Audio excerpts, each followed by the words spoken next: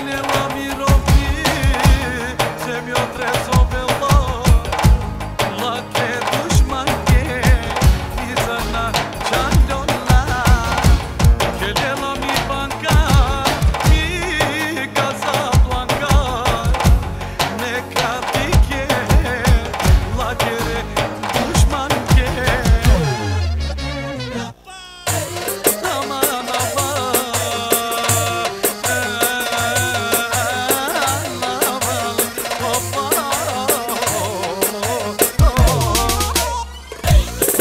Yeah.